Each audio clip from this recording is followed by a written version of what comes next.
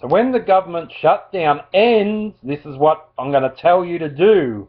Go into all those public toilets and stockpile, stockpile on toilet paper and hand towels. Because um, when the next shutdown happens, you'll have no hand towels, no toilet paper. Um, stash, stash a toilet paper in your, in your office desk. So when everyone else runs out, you tell them that that's yours and you're saving it for yourself.